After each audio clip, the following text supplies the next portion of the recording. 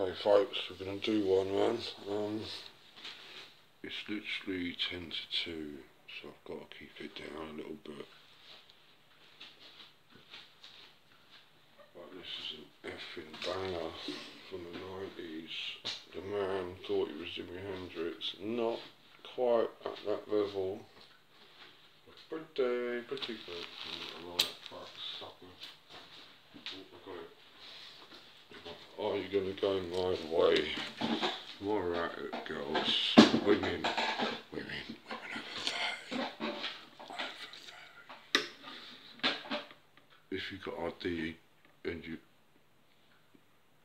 21, I'll give you a pass. If you've got ID, you know, it's dirty 30 really.